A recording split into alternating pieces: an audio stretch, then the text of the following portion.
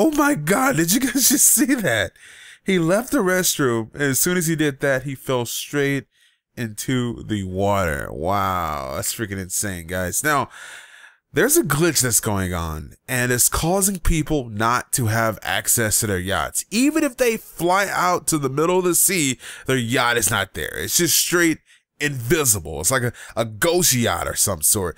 Now, this sucks because what? This thing costs seven million dollars. Yes, the yacht costs a lot of money. So for this glitch to be going on is definitely a party pooper.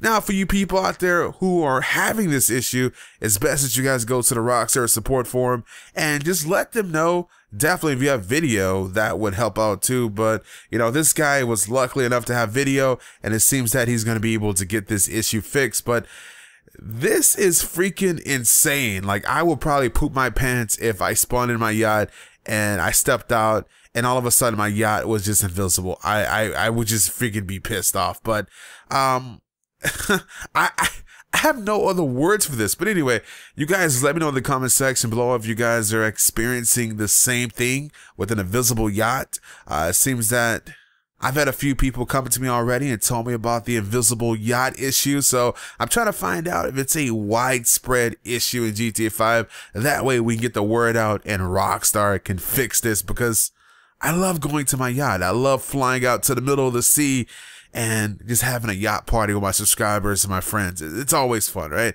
Anyway, this is DomisLive. Be sure to drop a like on this video as well as hit that sub button if you guys are new. Oh yeah, go check out DomisLive News as well. That link is in the description. I'm out of here, guys. You have a great day.